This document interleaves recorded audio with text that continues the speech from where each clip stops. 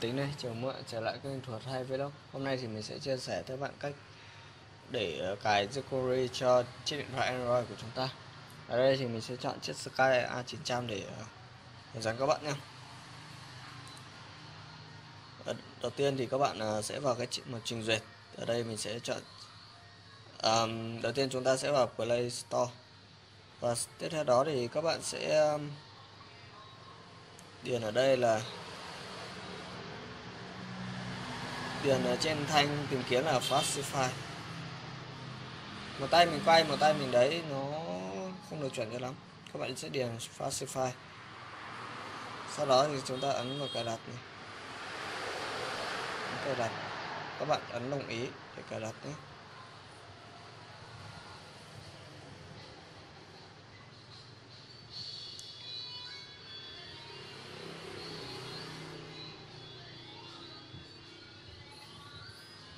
Ok, như vậy đã cài đặt xong.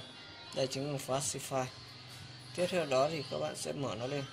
Mình đã để cho các bạn cái đường link mà download cái cái mục jQuery ở trong cái phần mô tả video nhé. Các bạn sẽ ấn xuống và tìm tới cái mục đó để ờ, các bạn tải cái mục jQuery về. Thì sau khi các bạn mở nó lên, các bạn ấn là Guts đó tiếp theo đó thì các bạn sẽ điền vào cái mục recovery image tiếp theo đó thì các bạn sẽ điền vào choose file. Sau đó các bạn điền vào file house tiếp theo chúng ta sẽ kéo xuống và đi tìm tới ờ, cái ờ, thư mục mà chúng ta vừa lúc nãy vừa mới tải về. Đây, chính là cái thư mục mà lúc nãy mình tải về các bạn sẽ ờ, tìm tới cái đường dẫn file mà các bạn tải vừa mới tải về. Chúng ta sẽ kích vào và chúng ta ấn vào giúp. Cái mục uh, phát sinh nó đang chạy thì các bạn cứ kệ nó để cho nó chạy nhé. Các bạn sẽ điền ờ, là nào.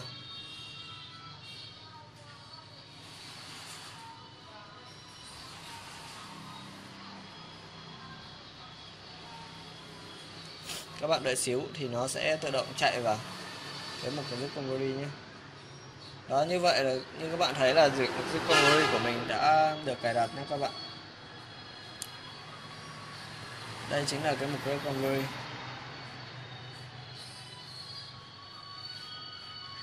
đây. thì đối với cái uh, Discovery 3.02 này các bạn có thể cài rất là nhiều các bản zoom khác nhau thì ở cái video trước mình đã hướng dẫn các bạn cách để rút máy rồi nhé thì các bạn nào chưa biết thì các bạn có thể kéo xuống đường link phía bên dưới mô tả video mình đã hướng dẫn các bạn cách rút máy.